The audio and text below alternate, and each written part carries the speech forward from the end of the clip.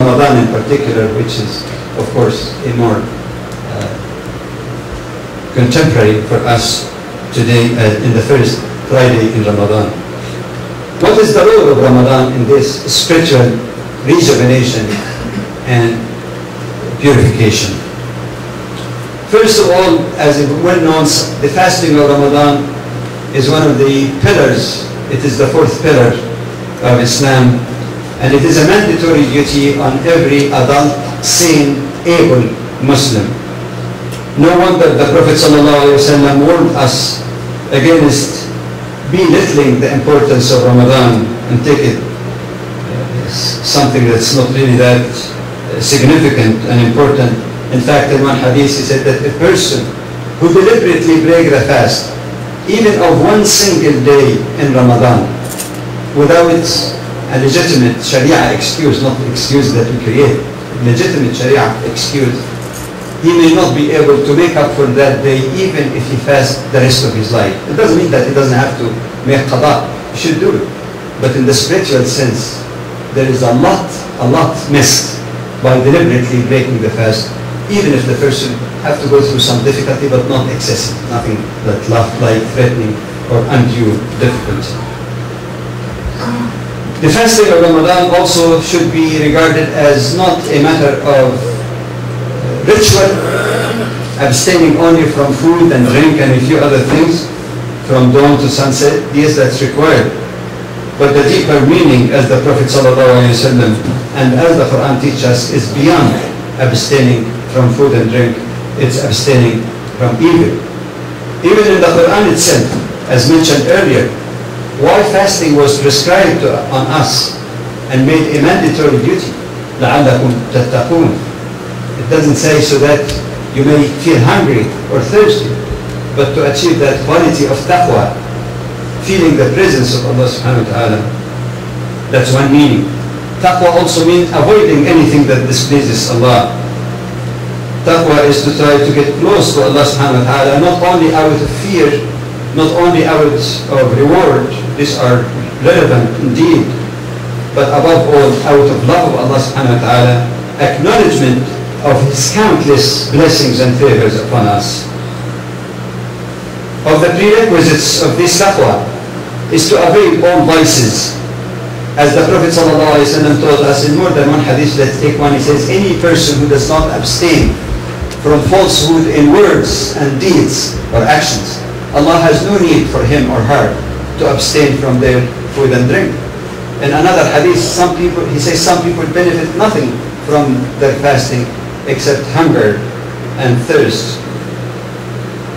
One of the prerequisites of this taqwa also, heeding Allah, is to admit humbly that no matter how much good we try to do and how much evil we try to avoid, we fall far short of the glory of Allah subhanahu wa ta'ala. No wonder Allah subhanahu wa ta'ala commands His Prophet sallallahu who is the most safwa, the most select of Allah, of any human being who ever treaded this earth, to seek forgiveness of Allah. That some polemicists misunderstood to say, oh, maybe he was a sinful person, then he, that's Allah ordered him to, to make istighfar. And the same people who say that, sometimes when they read the Lord's Prayer, when Prophet Isa salam, even in their own books, says, forgive us our sins or our trespasses as we forgive others their trespasses. Prophet Isa salam himself say, oh Allah, forgive us, means me and all others, our trespasses.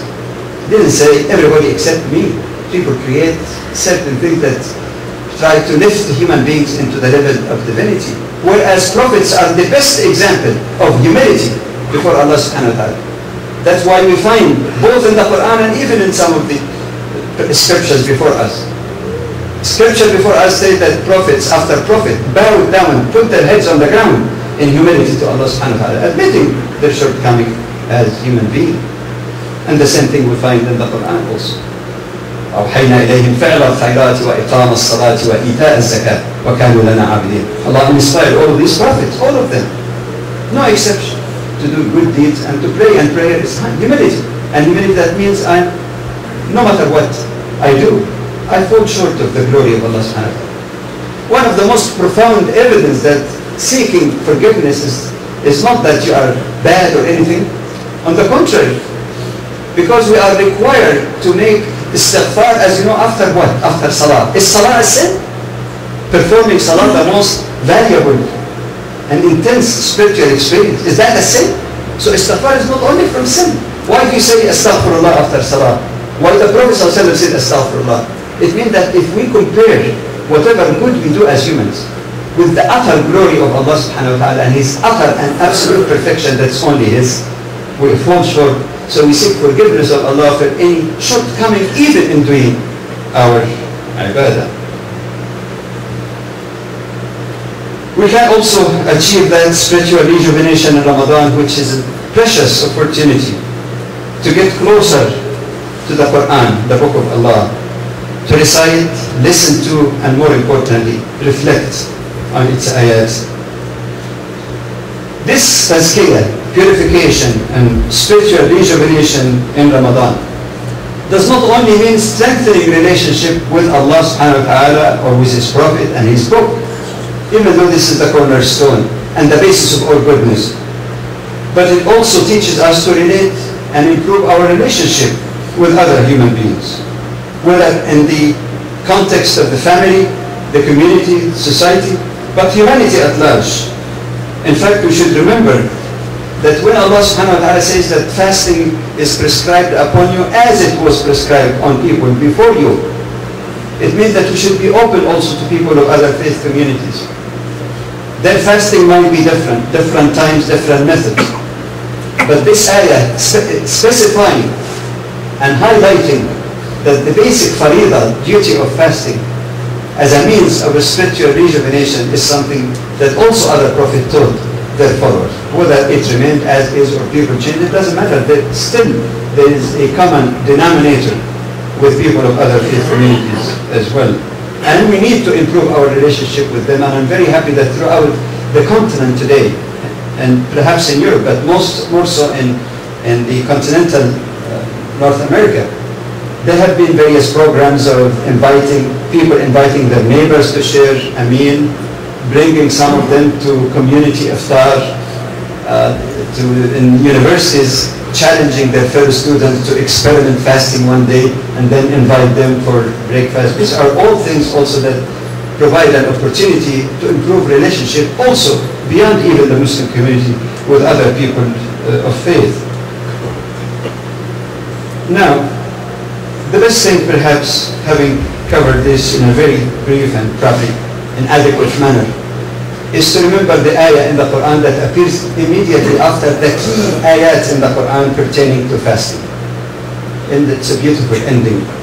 Reminds us and sum up all of this question of a spiritual rejuvenation and relationship with Allah subhanahu wa ta'ala. وَإِذَا سَأَلَكَ عِبَادِي عَنِي Say, addressing the Prophet sallallahu alayhi wa sallam. When my servants ask you, meaning, O Muhammad, concerning me, then certainly I am near to them. He's near to everyone who, who seeks Allah subhanahu wa ta'ala. Inni qareeb. I respond to everyone who calls upon me. Let them respond to my call and accept my guidance that they may achieve guidance and felicity. May Allah subhanahu wa ta'ala make us among those who remember Allah who take advantage of Ramadan, who try their best to be among those whose prayer is answered by Allah subhanahu wa ta'ala, and to make us among all those who are guided, and to make this blessed month a month of goodness, charity, and ample blessing for all of us. Amen.